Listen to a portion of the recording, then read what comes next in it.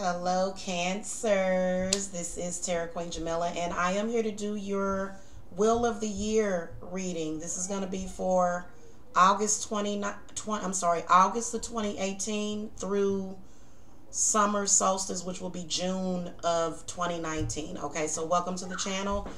Make sure that you guys hit the subscribe button if you need a private reading. The link to my website is below. I am running specials on uh, 30 minute video readings, and then my one hour phone readings are on sale. So get those below. Um, I'm going to be using the Wildwood Tarot deck for this reading, and welcome to the channel. So I'm just going to shuffle real good here because I've noticed repeating cards. Spirit guides, ancestors, guardian angels for the cancers. Uh, we're going to go retroactive back to August. So Spirit show me August 1st for Lammas for the cancers. Show me uh, Mabon, September the 22nd for the fall equinox of 2018. Show me Samhain, November 1st of 2018.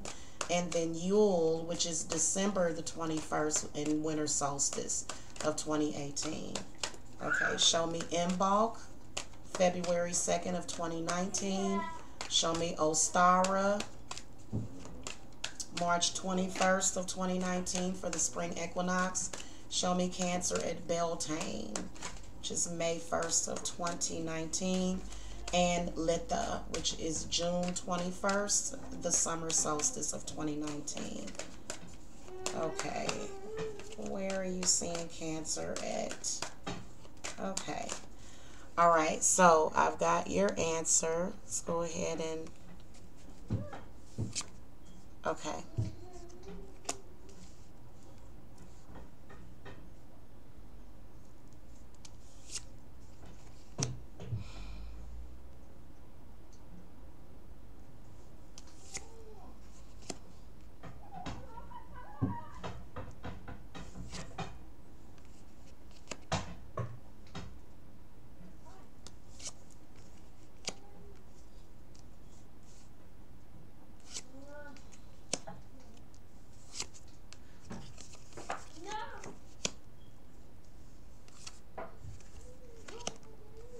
Okay, so here is your Wheel of the Year reading, Cancer. Let's get started.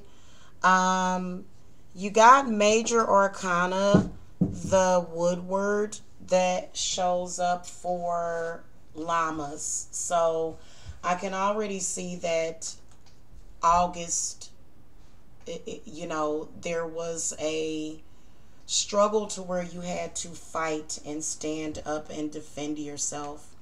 I can sense a lot of people trying to uh, take advantage. Okay, possibly people trying to take advantage. Um, possibly you having to assert yourself. Um, this card is um,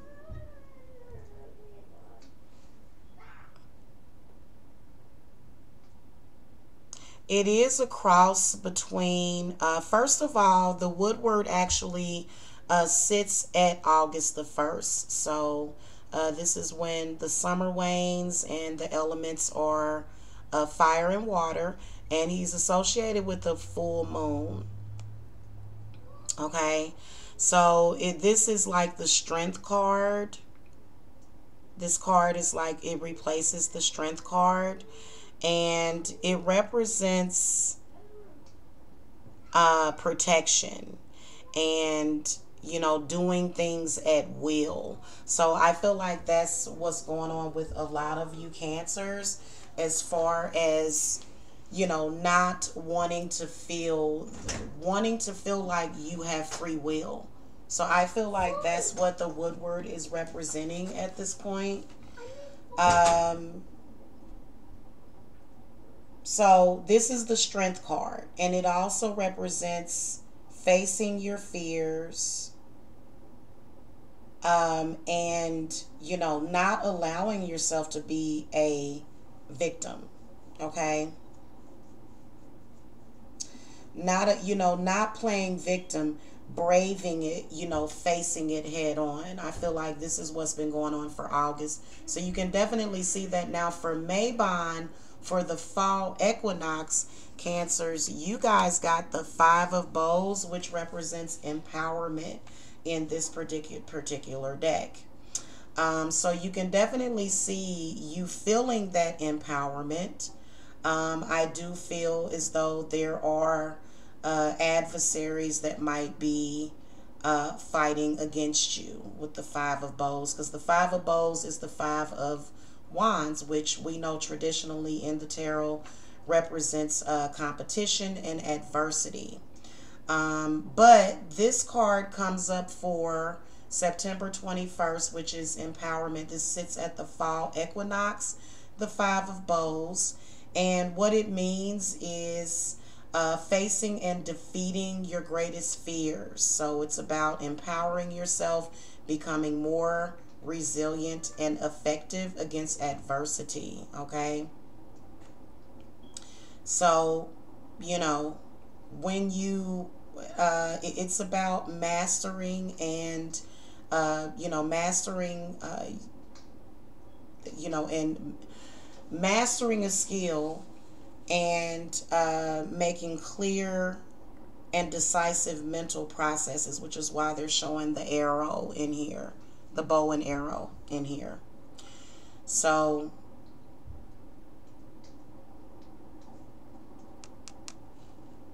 empowerment, okay? Now, for Samhain, which is November the 1st of 2018, you guys got the Three of Stones. And the three of stones does represent, um, it does represent creativity, but what I can see is definitely um, uh, some kind of financial growth that is coming up. So if, if, you know, Cancer, if you wanted to know about your finances, this is something that you don't have to worry about. You can definitely see you having to deal with some sort of adversity. Um, going towards, uh, you know, between August and September 20, 21st or 22nd, which will be the the fall equinox. Okay. Now going now again going around to November the first, the three of stones uh, represents money. It represents growth. It represents a financial reward. So I can definitely see you feeling like um, you know feeling it, it, it takes feeling courageous feeling freedom and feeling like you are able to show your artistic side and um, so that's a really good energy. The three of stones is is um, showing financial reward and gifts that are coming up. Now looking at Yule which is winter solstice you guys got the knight of stones okay? So the Knight of Stones is an earth sign, okay? So looking at Yule, the Knight of Stones does represent uh, possible, feel like it's money and finances. He represents abundance. That this card is representing abundance. Um, so the position at the wheel is passing through midwinter, this particular card. And um, if, if it's a person in your life it represents a reliable, a, a reliable and robust person getting the job done, getting the job done. Um, checking the details. Okay, land management. Uh, you know, persistence. So it represents kindness and helpfulness and perseverance and benefiting. So you can definitely see around the winter solstice, um, feel like he represents abundance because he does represent the knight of coins.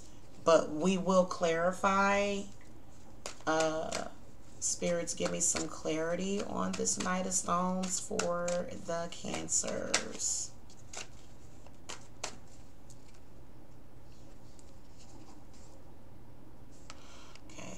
Yeah, it is some kind of money or abundance that's coming in. But I also feel as though uh, for some of you cancers, it's possibly um, it's possibly a lover or a relationship. It's a relationship. The Knight of Stones is a person that I feel like some of you cancers are either possibly moving in with this person um, at any rate, the Ten of Stones for the winter solstice is pretty good. It represents home and security. So if you if you're worried about your security, because I know winter can be really rough for some people, um, then I feel like I can see you definitely as being in a secure place financially. Okay. Um, and then also when it comes to health and everything. So you can see the struggle, but you can see as you get closer to the holidays, things do get a whole lot better. Now, looking at Imbolc for um, February of 2019, the page of vessels comes up. So I feel like this also, uh, for some of you in particular that are single, feel like this represents a messenger. The page of vessels uh, position at the wheel is at Sam- Samhain, but it represents uh, loyalty, devotion, um, somebody making you some kind of offer. Somebody making you some kind of offer um, around Imbolc. So, um, if it's a person in your life, this is somebody who's very sharing, uh, has deep intuition, um, you know, some kind of love offer coming up is what I can see. Okay, around Imbolc, uh, which is February 2nd, around February. Um, Ostara, the, at the spring equinox, you guys got the Queen of Vessels. So the Queen of Vessels, she represents peace and prosperity. She sits at the autumn equinox. She represents kindness, joyfulness, recovery, security. So you can definitely see around that time of the spring equinox, I feel like a lot of you, especially to represent you, this is really, really good. I feel like a lot of you cancers are doing really good. The salmon represents peace and prosperity. Okay? And happiness and joy. So, yeah.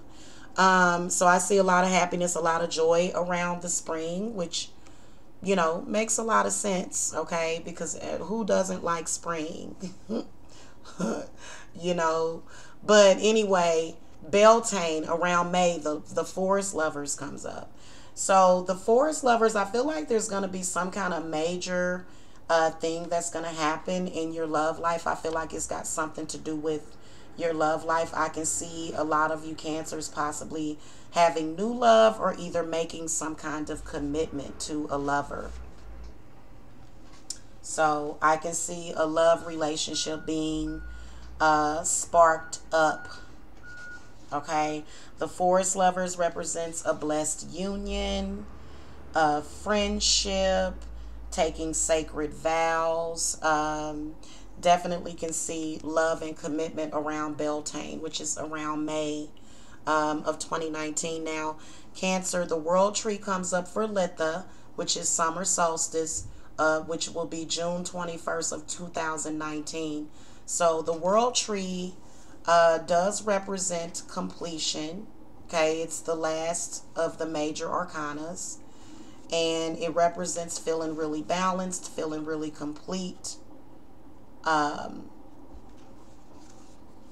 uh, it sits at it's at the quadrant of fire, so represents completion.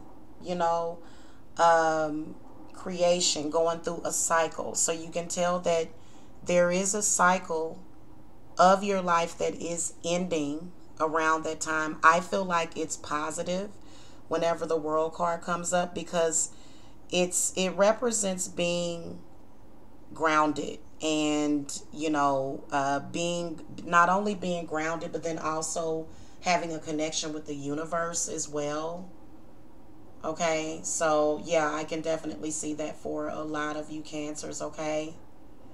Anyway, um, I hope that you guys enjoyed this reading. Make sure that you hit the subscribe button. And if you want your own, uh, you know, year ahead reading, the link to my website is below. I'll see you guys later. Love and light.